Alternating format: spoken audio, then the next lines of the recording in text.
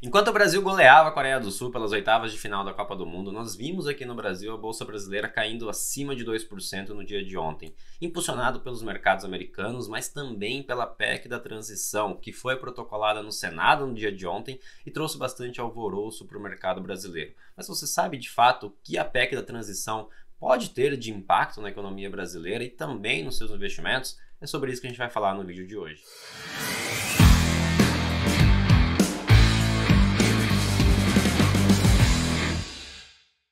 A todos aqueles que estão chegando agora aqui no canal, meu nome é Adriano Bondezan, analista CNPI aqui da Rock Trade, e no vídeo de hoje nós vamos falar sobre a economia americana. Na semana passada tivemos diversos indicadores que impactaram fortemente o mercado americano e acabou trazendo também volatilidade aqui para o mercado brasileiro. Vamos falar também sobre a PEC da transição, sobre os gastos públicos, sobre como está a dívida brasileira e quais os possíveis impactos para os seus investimentos como um todo. Mas antes quero convidar você a se inscrever aqui no canal se você ainda não é inscrito, deixe seu like, comente também se você está gostando do Palavra do Investidor no formato que ele está sendo feito. Eu trago aqui para vocês todas as segundas ou as terças-feiras, agora por causa da, dos jogos da Copa, tudo que de fato impacta os seus investimentos, já tirando aquele ruído de mercado.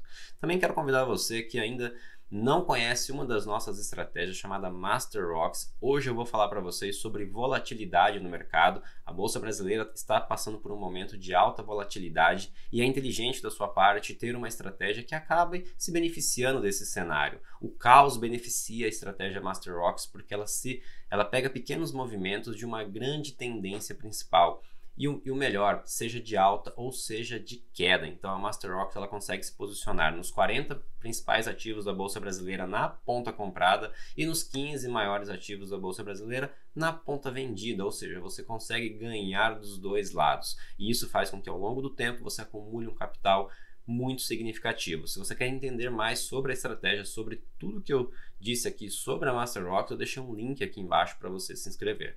Então vamos lá, pessoal. Quero trazer para vocês, primeiramente, um pouco do que aconteceu na semana passada nos Estados Unidos. Tivemos uma semana de fortes indicadores e muita volatilidade no mercado, bolsas caindo forte por lá, principalmente na sexta-feira, depois que saiu os dados do payroll. Então, o payroll trouxe ali uma, é, a criação de vagas de empregos americanas acima do esperado. Se esperava 200 mil vagas de emprego e veio 263 mil vagas de emprego. Isso fez com que o mercado realmente entendesse que a política monetária do Federal Reserve ainda não está sendo o suficiente para frear a economia. Nós vemos ali é, os empregos aumentando, aumentando, nós vemos o salário médio do, do americano também aumentando, e isso realmente faz com que eles consumam mais, e se eles estão consumindo mais, naturalmente vai aumentar a demanda, e aumentando a demanda você vai ter uma, um aumento na inflação. Então, trazendo aqui para os mercados, né, nós vimos na semana passada, isso daqui é um gráfico do S&P 500 com a Nasdaq, vocês podem ver né, isso no ano, a gente vê uma tendência clara de queda nos mercados, realmente precificando essa possível recessão nos Estados Unidos que está por vir ou que já está acontecendo, né? A gente nunca sabe qual é o momento exato em que uma recessão começa ou termina, isso só é datada é, no, no futuro, né? Então, só para vocês entenderem, esse, esse, esse, movimento de queda de quase um ano aqui já do S&P 500 acumula quedas acima de 20% no ano, a gente vê uma tendência clara de de queda, mas realmente tendo alguns suspiros. Então, sempre que tem esses suspiros, já é o terceiro, a gente está indo para o terceiro suspiro, basicamente, né? O respiro do S&P 500 e da Nasdaq. Então, o mercado começa a ficar otimista se já chegamos no fundo do poço ou ainda não. Se a inflação chegou no topo ou ainda não. Se vai ter um pouso mais suave, né? Que é o que eles chamam de soft land, ou se realmente vai ser um pouso forçado, se a economia terá que frear bruscamente para conter a inflação. A pergunta que fica hoje é essa, né? E é isso que o mercado vem dia após dia através desses indicadores tentando metrificar. Nós vimos que o S&P e a NASA que acabou subindo por alguns dias no mês de novembro acabou subindo forte, né? Mas realmente agora no início de dezembro já acumula dois dias de queda. Hoje está caindo mais de 2%, tanto a S&P é, quanto a Nasdaq, né? Realmente precificando esses dados que saíram. Primeiramente o dado do payroll, então o emprego nos Estados Unidos continua, né, a taxa de desemprego continua em 3,7, uma taxa baixíssima, bem próxima ali dos períodos pré-pandemia, e isso vem refletindo também no salário médio do americano. Então, olha de 2020 para 2022, como que a média salarial do americano subiu. Né? Então, se a média salarial, se as pessoas estão ganhando mais, com certeza elas vão consumir mais. E se a demanda e a oferta não estiverem ambas aquecidas, né? então a gente está vendo muitas empresas já começando a demitir, já começando a, a, a, esfriar, porque a taxa de juros está aumentando e isso dificulta você tomar empréstimos para crescer, para investir na sua empresa. Então você acaba não fazendo isso e até reduzindo os seus investimentos, e isso faz com que cause demissões. Ainda a gente vê um salário médio do americano subindo é, a níveis bem altos ali, se você olhar dos últimos 30 anos. Então a gente acompanha isso de perto, né? Mas também tivemos na é, nessa semana, na segunda-feira, dia de ontem, os dados do PMI, né, que nada mais é do que a, como que a, a indústria americana está. Então a gente está tá vendo que está caindo. Isso já é um sinal realmente de recessão. Quando está abaixo de 50, é um sinal de que é, já está desaquecendo né, a, a, a questão da indústria americana, mas isso ainda ainda não é o bastante para animar as bolsas a nível de que já chegamos ali numa recessão e daqui em diante as taxas de juros podem começar a subir. Na semana passada tivemos também as falas né, do presidente do, do Jerome Powell, que é o presidente do Banco Central Americano, e ele voltou a ser um pouco mais austero, mais duro na sua fala. E o que o mercado hoje acaba tentando entender e precificar é até quando teremos uma taxa de juros é, alta nos Estados Unidos por mais tempo, porque isso acaba sugando a liquidez do mundo. A gente vê, principalmente o mercado de criptoativos e outros mercados emergentes também, sendo obrigado a subir a taxa de juros, porque a taxa de juros americana manda no mundo. E se ela está a níveis atrativos, 4, 4,5%, né, como é o que a gente vai chegar daqui a pouquinho, então isso começa a se tornar um grande motor de investimento a nível global. Então o que, você tem que entender? O que, que o mercado está tentando precificar? Qual será o pico da, da alta de juros nos Estados Unidos? Vai ser 5, vai ser 5,5, vai ser 6, a gente chama isso de taxa terminal. E a principal questão é por quanto tempo essa taxa permanecerá alta. Isso é um dos principais indicadores, porque a gente tendo uma noção de quando ele vai começar a reduzir a taxa de juros, a, gente, a bolsa principalmente já começa a antecipar esses movimentos. E se você vê pelas apostas do Banco Central né, para as próximas reuniões, a gente vê aqui em dezembro, a gente tem aqui mais 70% de chances de que vai ter um aumento de 0,5%, então já é praticamente dado, a reunião é na semana que vem, e na próxima reunião, em fevereiro, ainda está aqui entre 0,25% ou 0,5%, mas isso também pode mudar dependendo da, de como será né, os próximos indicadores que sairão nesse mês de dezembro. Estamos de olho acompanhando isso, por enquanto, bolsas americanas realmente caindo forte, isso acaba afetando aqui o Brasil, que teve um desempenho ruim no mês de novembro, andando novamente na contramão da bolsa americana. A bolsa subiu no mês de novembro, enquanto o Brasil caía mais de 3,5% no mês de novembro e só não foi pior a queda porque tivemos realmente uma alta expressiva das principais commodities. A gente sabe que Vale, Petro e bancos correspondem a mais de 50% do índice e só a Vale sozinha corresponde a praticamente 18% do índice. E ela no último mês, né, no mês de novembro praticamente, ela teve uma alta de mais de 20%. Minério de ferro subindo forte na China, devido às flexibilidades que estão tendo ali em relação ao Covid-0, então isso está estimulando bastante o setor de construção civil e outros setores da economia chinesa, isso acaba é, fazendo com que o consumo por minério de ferros e outros metais e outras commodities aumente. Então a gente viu que a Vale e a Petro, que apesar de todos os ruídos políticos ainda subiu no mês de novembro, acabou segurando bastante o índice Bovespa. Se você pega, por outro lado, o índice Small Caps, o índice Small Caps ele caiu mais de 11% no mês de novembro. Então, o índice Small Caps para nós é um benchmark muito interessante porque ele tira todas essas commodities grandes, ele tira as principais ações do Ibovespa e mostra realmente como foi a realidade do, do, da Bolsa Brasileira no mês de novembro. E foi realmente um, muito forte a queda, mais de 11% de queda e continua caindo ainda o índice Small Caps, que pega basicamente uma composição melhor do que representa a Bolsa Brasileira. Então, no mês de novembro, as nossas estratégias também não foram bem. Tivemos ali estratégias com umas quedas significativas, isso é normal, faz parte do jogo.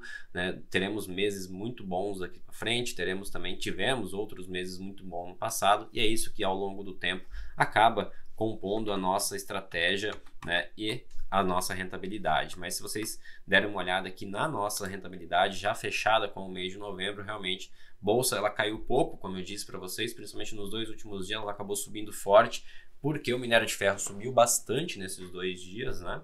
Mas as nossas carteiras acabou não acompanhando. Basicamente, a Smart Dividendos conseguiu segurar bem por ser uma carteira mais defensiva, com ativos que acabam atrelados, né, mais ao índice, ações mais sólidas, ações que a gente chama de blue chips, que estão ali acompanhando um pouco mais o índice Bovespa, ela segurou muito bem. Tivemos aqui trades, por exemplo, com a Gerdau, que subiu mais de 30% no mês, tivemos CSNA, que subiu mais de 15% no mês, então realmente Smart Dividendos segurou bem. As outras carteiras acabou entregando bastante, Nasdaq acabou subindo também ali é, junto com o índice né, da Nasdaq e o Bitcoin acabou realmente sofrendo bastante no mês de novembro, uma queda de mais de 16%, puxado ali pela questão da FTX e tudo que aconteceu no mercado de cripto no mês de novembro. Só para vocês terem uma noção do acumulado, Ibovespa no acumulado do ano ainda está em alta de 7%, né? isso fechamento 30 de novembro. É, a Nasdaq uma queda de 6% no ano e o S&P 500, ah, perdão, é a, a Nasdaq uma queda de 26% no ano e o S&P 500 uma queda de 14%. Bitcoin acumula ainda 62% de queda no ano, então realmente um ano bem difícil para o setor, setor de criptoativos e também para o setor das bolsas americanas. Brasil ainda apesar de toda a volatilidade, tudo que está acontecendo ainda é destaque positivo no cenário internacional, porque vem com uma rentabilidade acumulada positiva no ano. Agora eu quero trazer para vocês sobre a PEC da transição, tudo que está acontecendo no governo federal. Né? Realmente a gente já, desde as eleições, a gente vem tendo uma volatilidade muito forte aqui no mercado brasileiro advindo de toda essa mudança, transição de governo, né? desde a vitória do Lula e, e, agora quem serão seus próximos ministros, como que será essa PEC da transição. Eu quero mostrar aqui para vocês qual é o racional da PEC da transição. Né? Foi divulgado ontem um documento dando mais detalhes de como será essa PEC, como que está sendo negociada isso lá no Senado e eu trouxe também um pouco de de conteúdo em relação à dívida brasileira. Então vocês vão entender como que a dívida brasileira ela é composta e por que, que o mercado olha tão de perto é, esses, esses indicadores e essa PEC e o que, que ela pode causar de impacto no cenário e nas bolsas como um todo. Então, trazendo aqui para vocês, basicamente, esse é o cenário da, da dívida, né? Então, a dívida em relação ao PIB do Brasil, ela veio subindo desde lá de 2014, né? Saiu aqui de 52% do PIB, chegou aqui a quase 90% no período da pandemia, todos aqueles auxílios que tivemos, né? E depois ela começou uma trajetória de queda e hoje ela se encontra aqui em 76, 77% do PIB. Então realmente é uma dívida muito alta, né? Mas ainda comparado com outros países não é uma dívida tão alta. Mas o que, que compõe essa dívida? E é isso que eu quis trazer aqui para vocês.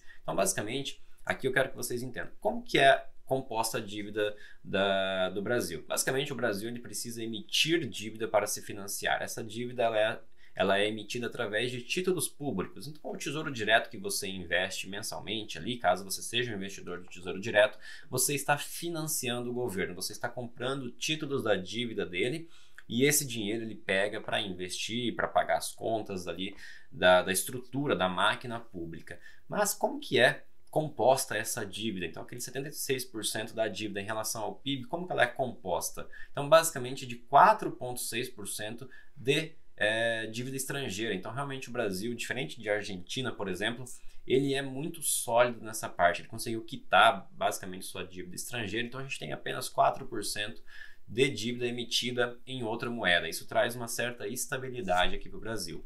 37%, quase 38% da nossa dívida é em taxas flutuantes. O que, que são as taxas flutuantes? Lá no Tesouro Direto é o que a gente chama de pós-fixado. Então, o pós-fixado ele basicamente acompanha a taxa Selic. Então, se a taxa Selic aumenta, naturalmente o custo dessa dívida também aumenta, porque ele é atrelado à Selic. Se a Selic cai, os juros dessa dívida cai. Se a Selic sobe, os juros dessa dívida sobe.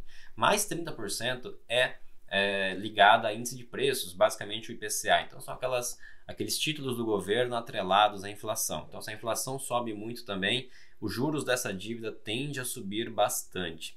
E 27% da nossa dívida é atrelado em pré-fixados. É, os pré-fixados são o que a gente chama de melhor, a melhor forma do governo se endividar. Por quê? Porque está travado ali, né? tem uma taxa pré-fixada e isso traz mais estabilidade e autonomia para o governo poder se refinanciar. Porque o governo basicamente não é que ele não paga a sua dívida, basicamente ele vai rolando a dívida. Então, quanto maior os juros para ele rolar essa dívida, mais caro fica o custo dessa dívida.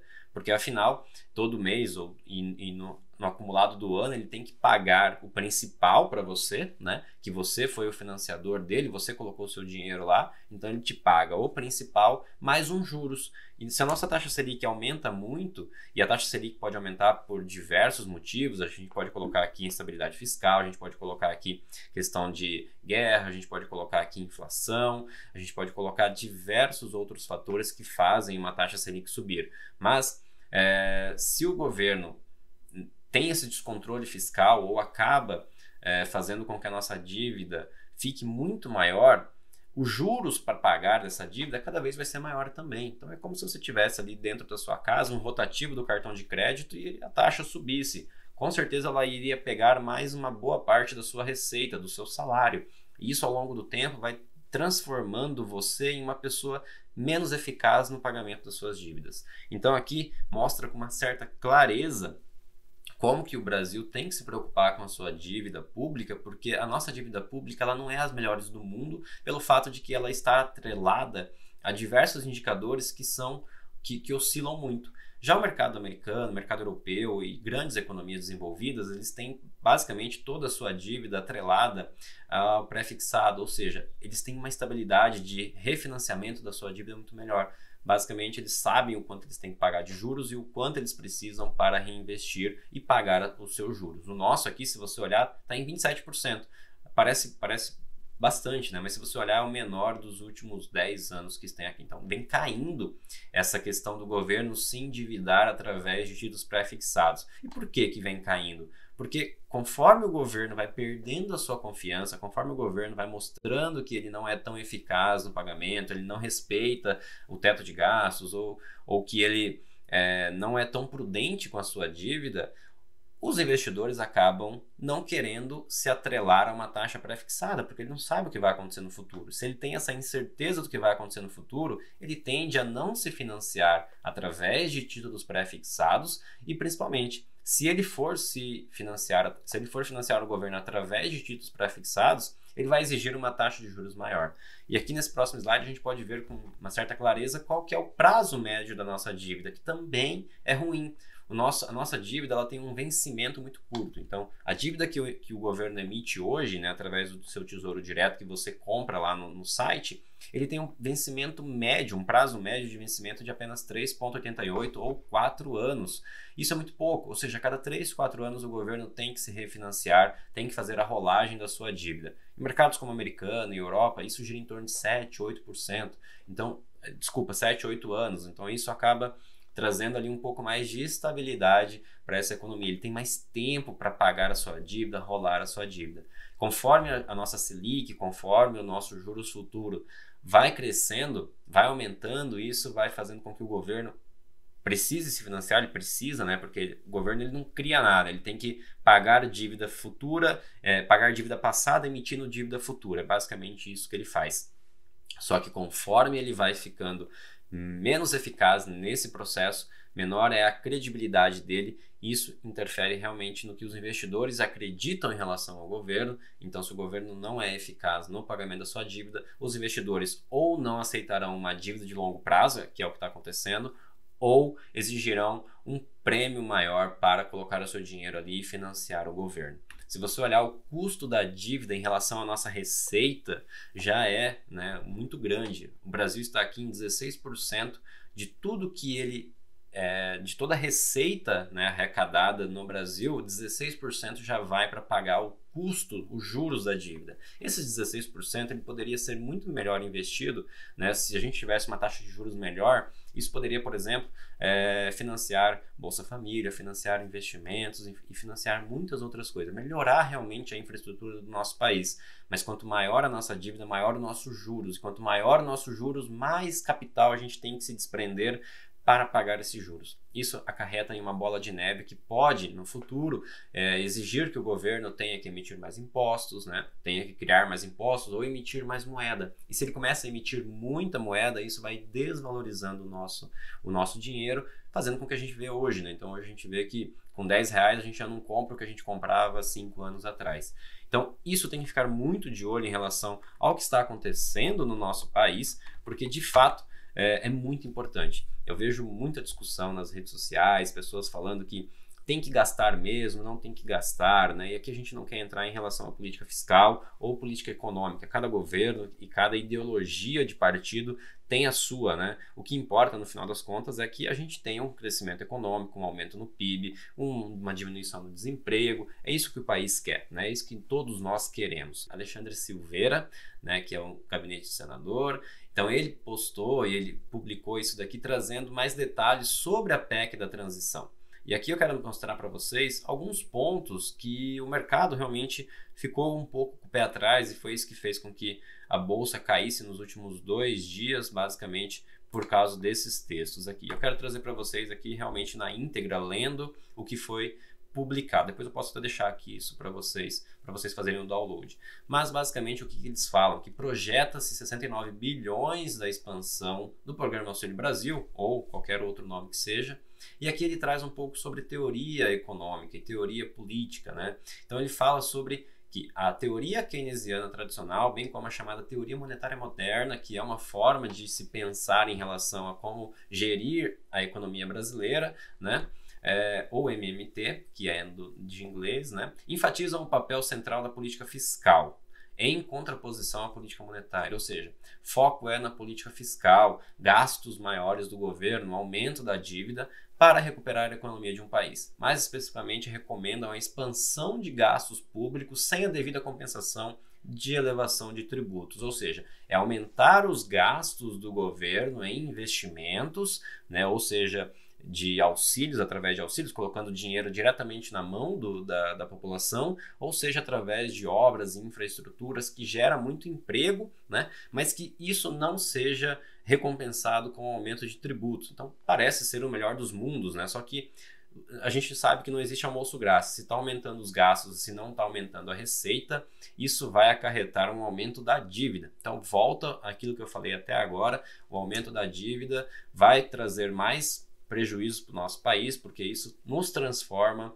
em um país mais arriscado de se investir, acaba trazendo, é, afastando o capital estrangeiro, entre outras coisas. Então aqui também eu quero falar que cabe também enfatizar, como apontam alguns adeptos da, da teoria monetária, né, que o aumento de gastos públicos não pode provocar crise de desconfiança em países que emitem dívida na própria moeda. Ou seja, se o financiamento das despesas fosse feito em moeda estrangeira, seria justificável uma preocupação com a solvência do país. Mas como os títulos emitidos pelo Tesouro Nacional, que é o que financia a dívida do governo, são em reais, não existe a possibilidade de o governo não pagar. Concordo plenamente.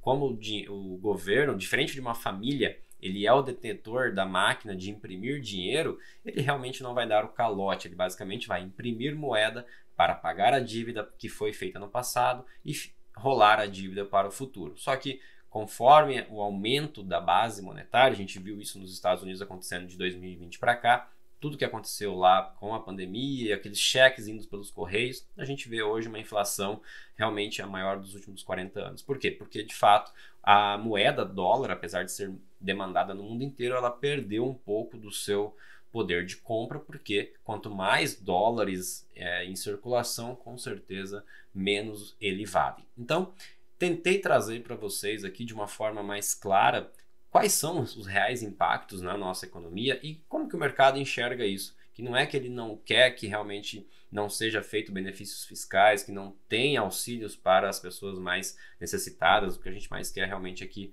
as pessoas tenham que comer todos os dias e isso o governo tem que ajudar e puta, muito legal isso acontecer, mas tem que ter uma austeridade fiscal, tem que ter ali um controle nos gastos para que a nossa dívida não exploda e isso acabe acarretando em mais juros, mais desconfiança e isso acaba afetando de novo as pessoas que têm menos poder de compra, as pessoas que não conseguem se proteger da inflação. Então, tudo isso tem que ficar de olho realmente, é isso que o mercado enxerga, né? Mas, de qualquer forma, essa PEC será votada provavelmente essa semana ou no máximo na semana que vem, porque depois teremos o recesso parlamentar, depois só lá no meio de, de janeiro que o pessoal volta, e aí já não dá para incluir isso mais na LDO desse ano para 2023, então provavelmente terá ali uma manipulação bem grande do, do governo para que se vote ainda esse mês essa PEC para poder é, realmente ter os gastos extraordinários para o ano de 2023, para o ano de 2024, pelo que a gente está acompanhando,